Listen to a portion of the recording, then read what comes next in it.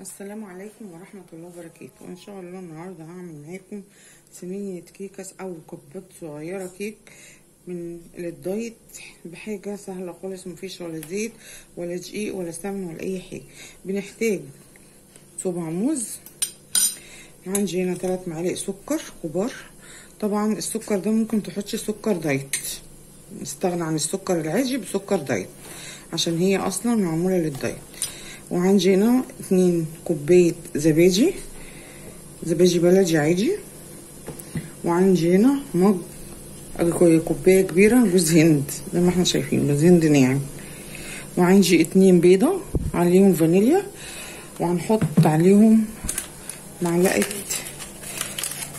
معلقة شاي كده صغيرة baking powder بحطها على الجوز الهند وببتدي اعمل الكيك بتاعنا بنزل بالسكر بجيب بولة كده بنزل بالسكر بحط عليه البيض وبالمضرب كهرباء أو المضرب اليدوي بربه كويس.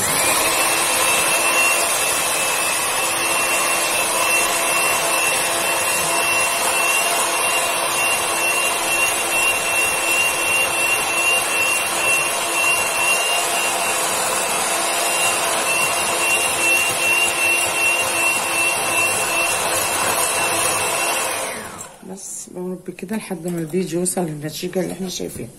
بنزل كوبايتين الزبادي.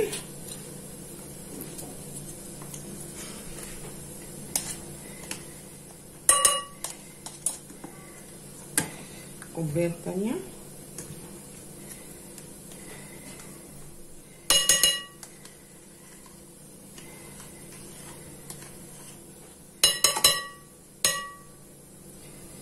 وبرب طبعا الزبادي مع خليط البيض والسكر.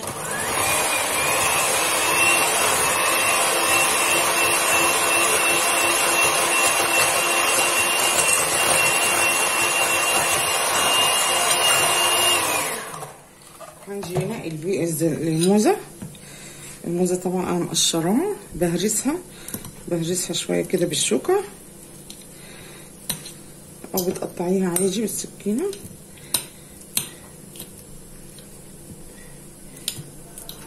عشان هنضربها مع الخليط.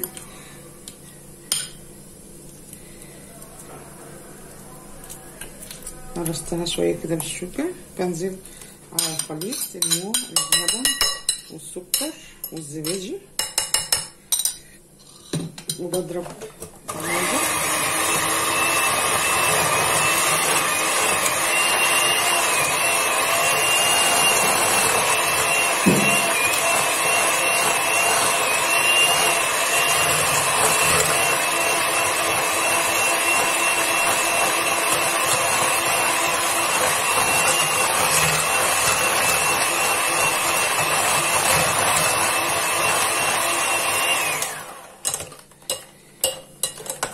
نضرب تاني عشان الموز كله.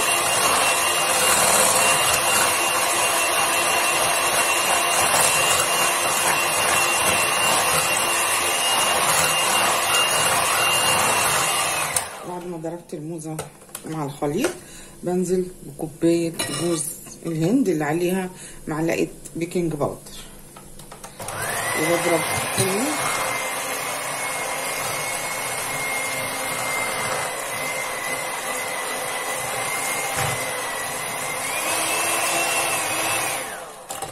بنزل طبعا جوز الهند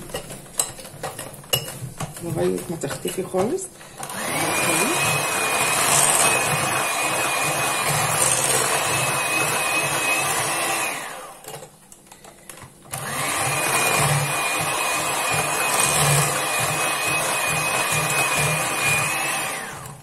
لحد ما بقى شكلها كده طبعا خلاص كده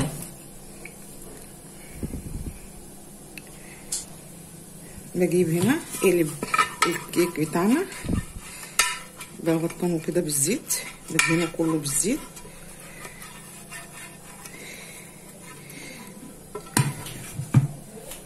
وراح نازله بالخليط بتاعنا.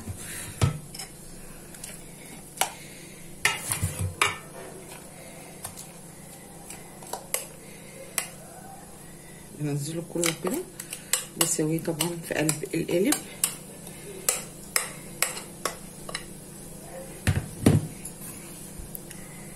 بعد ما سويتها بالشكل ده طبعا أنا مولعة درجه حرارة الفرن على 180 بسخن الفرن كويس وهديها على 160 أو 140 لحد ما الكيك بتاعي ياخد لون ذهبي. وبعد كده أطلعها. إن شاء الله بعد ما تطلع من الفرن هوريها لكم. ده شكلها.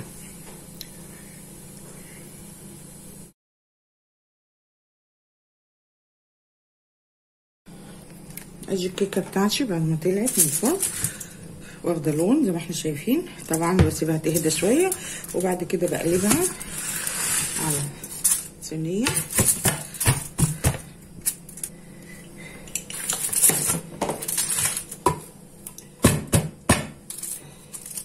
سخنة.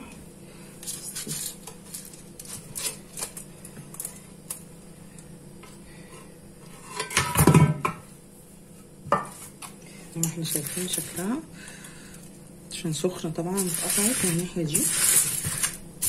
شكلها. طبعا بالراحة كده بتقطعيها.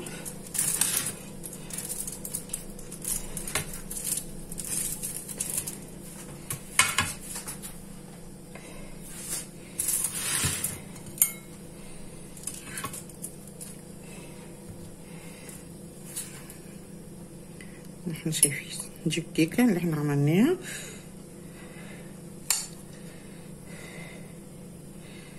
شكلها من جوه. طعمها جميل جدا. طبعا جوز الهند مع الموز. عامل طعم روعة. جربوها. إن شاء الله تعجبكم وتنفذوها.